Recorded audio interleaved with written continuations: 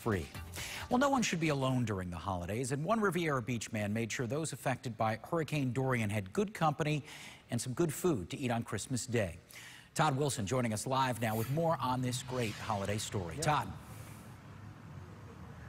Well, you know what? Brandon Marville says that, you know, he's not related to any of the people that he's actually helping. He says he just has a big heart to want to see these people get back on their feet. I ain't seen you lately. Where you been? Beverly Sands is getting a chance to relax and not worry about her current living situation.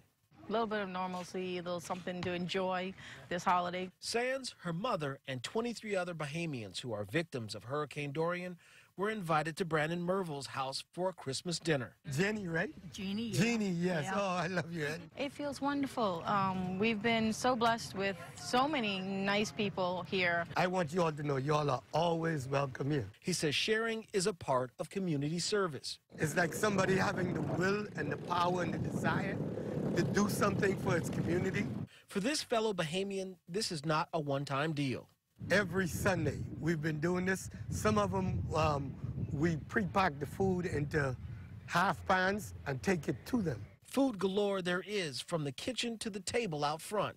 Sand says the Christmas spirit is everywhere. I don't remember when last I met such wonderful people. There's a lot of nice people and a lot of good food for them. Now, uh, Brandon says that he's actually throwing a party for some Bahamian folks that are actually leaving in January. So the first Saturday of January, Dreher Park, 1 o'clock. If you're interested, food, fun, and music. Live in downtown West Palm, WPTV News Channel 5. Well, Christmas.